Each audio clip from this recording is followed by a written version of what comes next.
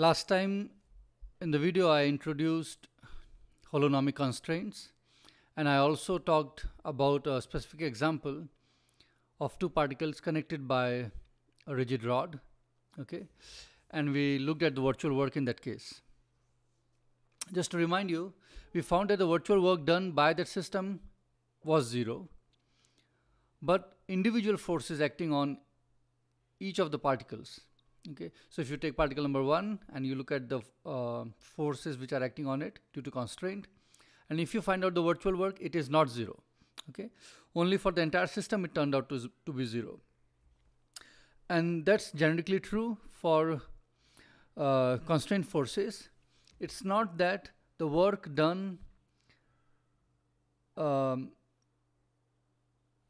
by the forces acting on individual particles is zero. It is only when you consider all the particles of the system and look at all the constraints, then all the, and, and you add up the work done uh, by these forces on each particle and you sum them up, that is zero. Okay, so that's what uh, one thing which should we should remember and that's what we are going to utilize today. Now goal for today's lecture is to write down the principle which is uh, called D'Alembert principle this will be our starting point for writing down equations of motion later okay? So that's what we are going to do and the task is quite simple here and the, the principle is very nice and simple. So let's uh, begin with that. So imagine we have a system of n particles okay? So a lot of uh, particles and each particle is experiencing some forces due to constraint and also forces which are not due to constraint okay? So I divide all the forces on each particle in two sets f primes and f's okay? Primes with are due to constraint and f's uh, without primes are not due to constraint okay? And then just just now I told you that if I take the virtual work done by all of these forces f primes and you add all these virtual works then it will turn out to be zero. And that's what we are going to utilize in writing down um, D'Alembert principle. Okay let me go to the yes. So here we are. So I'm looking at a system of n particles. Okay. Uh, each of mass m i and where i runs from 1 to n. There are number of particles. I'm writing down small m right now okay? And then there are forces of constraint that are given by the equations okay? The the holonomic constraints so let's say there are k number of constraints. So phi 1 phi 2 so and so forth to phi k. And these being equal to 0 are are the equations of constraints. So that's what i'm imagining right now let me write down. There are forces of no not not of let's say. There are forces that are acting on the particle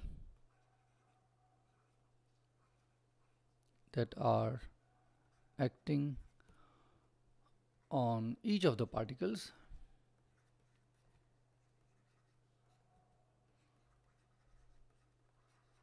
okay? And as I said I will divide them into two categories. One is f prime okay? So particle number i has a force fi prime acting on it. And this fi prime is due to constraints. And this is the sum of all con constraint forces okay? If there are several forces which are acting due to constraint I add them all of uh, all of them. And that's what f prime is. And the another uh, set is f and this is also the sum of all forces other than the constant forces okay on particle number i okay. Now each of the particle is going to evolve in time according to newton's newton's second law okay. So if i write down mass into acceleration okay i have a double dot here and that will be the sum of f prime and f. F prime i plus f i. Right? That's correct. Now you see um, we are not very happy and excited about this equation. This is true. This equation is true. But it's not very nice because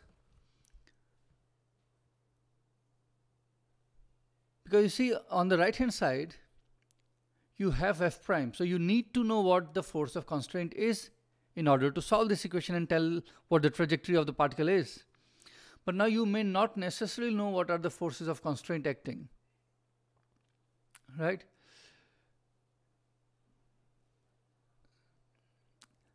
Let's say um, let's take an example to understand this. Let's imagine that you have one surface okay? Let, let's say a flat surface. And you have a particle which is constrained to remain on that surface. And on the top of it you have certain very massive particles okay which very strongly exert forces on this guy. So let's say you have a surface a particle on it and then there are other other particles here and there which are very massive and they are all moving around because they are all interacting with each other. This guy will also move around because it is getting um, forces from all other particles. But this one has to remain on the, on, the, on the surface. Now it may naively appear that I can plug all this and in this equation uh, Newton's second law which I have written down here okay and, and solve it. But the problem is the force which the surface is going to exert on the particle here okay so let's say this is the do I have a sheet here? Yes.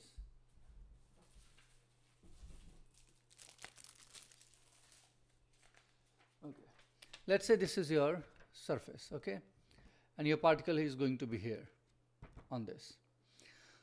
Now if the particles which are at other places okay the massive very massive ones if they are exerting a very strong force downwards okay let's say force is very very strong. Then for the particle on the surface to remain on the surface the surface has to push it strongly upwards. But if let's say these particles move away in time okay they, they go further away so that the pull of these particles on on the guy here is lesser much smaller let's say then the reaction force by the surface will also be much smaller. Okay meaning f prime will be smaller in magnitude. So the forces f primes are not known a priori. They they evolve as um, the system evolves okay? And that is why this equation though correct it's not very useful in solving um, solving your problem unless you could write down explicitly what fi primes are okay? So that's the that's the difficulty we face with uh, this um, where the equations of motion are written down right now in front of us. And that is what the situation is uh, and that's what we want to address uh, in the remaining of the of the lecture. Okay so let's see what we can do about this. What I'll do is I'll take the Fi the forces which are other than the constraint forces to the left hand side and let's see what we get m i r i double dot minus f i equals f i prime. Okay? I wish I had written it more neatly but um, okay let me just equals f i prime. Okay? Trivial now what I do is I take my system and do virtual displacements that are cons consistent with the forces of constraint at the time. Okay. So let me do virtual displacements and dot both the left and right hand sides with virtual displacements. Okay, this might already uh, ring a bell to you. Now, as I said, few minutes ago that the right hand side is not zero that the virtual work done by each uh, uh, one uh, virtual work done on each particle by this forces of constraint is not necessarily zero. You have seen this explicitly in the case of two particles which are rigidly attached. But if I sum over the entire system, okay, then this is true. And that's why I'll sum over all the particles. I equals 1 to n.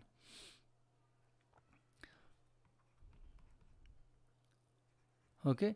Now this is true that the virtual work done is 0. And this is what is D'Alembert's principle. Okay, it says that if I sum over all the particles, I'm just writing down the equation again, m i r i double dot minus f i dotted with the virtual displacements. This is equal to 0 okay. Let me put it in a box.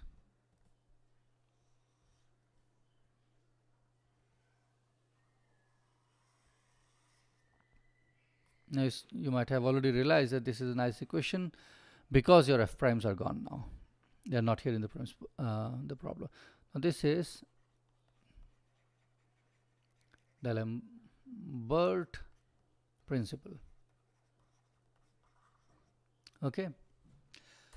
Okay pay attention to this. Let's see what it is saying. It's saying that um, MRI, MI, RI double dot minus FI dotted with delta RI is 0. Now imagine for a moment that there were no forces of constraint. If that wa the, was the case, then all the delta ri's, the virtual displacements of each of the particle, you could have chosen them all independently of each other, right? They will be all independent of each other. See, the delta ri's are constrained because of the constraint equations. You remember sometime back we wrote down d phi and then we wrote down d phi which was term in terms of delta ri's and that was the equation of uh, that was the constraint that virtual displacements had to satisfy. Let, let me go back. Let me try to see if I can find that equation. Yeah here for example. Here if you see. Uh, here this one. You see? The virtual displacements delta ri had to satisfy this equation. And they were not so you, you cannot independently choose one delta R, delta r1 to be this, delta r2 be to this, delta r3 to be this. Okay, they have to satisfy the constraints, and that's what I'm saying here. Okay, but imagine if your uh, system was not constrained by any constraint forces, then you could choose delta ri's to be independent of each other, and then in that case, for this sum to be zero, you will conclude that whatever is written in the square brackets here, MRI, MI, RI double dot minus FI, they all have to individually vanish, right? Just because uh, delta RIs are independent of each other. Okay, so if that was the case, then you recover your Newton's equations, which is just uh, uh, uh mass times acceleration is the force, and there is only one force because the constraint is gone. But now, because now the situation is that we have constraints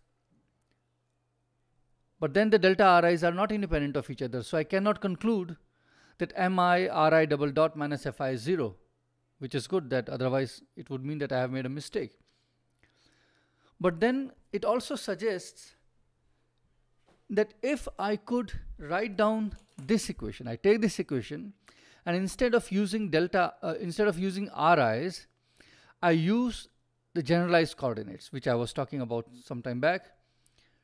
Okay, remember generalized coordinates are all independent of each other.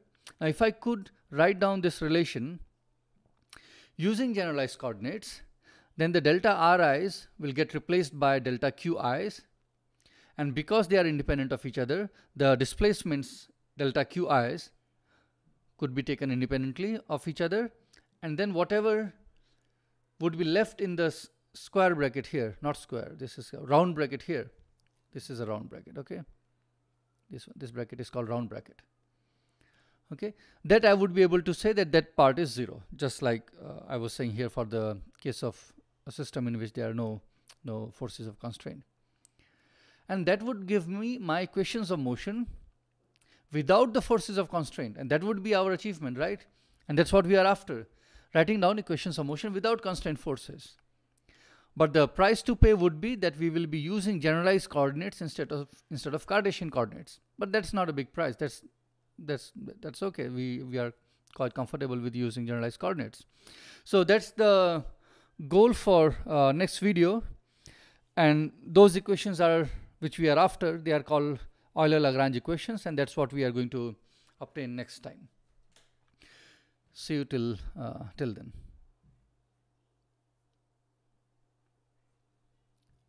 Okay, I think, yeah, stop.